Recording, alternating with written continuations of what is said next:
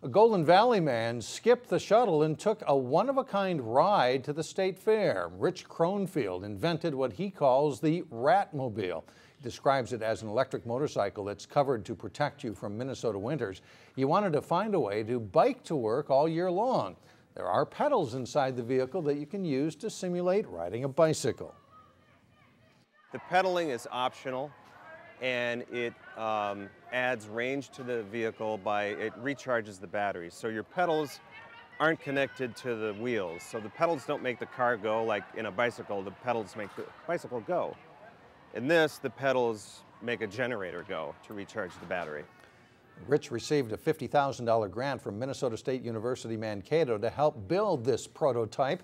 It is on display outside the Eco Experience at the State Fair. Anybody turn some heads with that one. Yeah, kind of neat.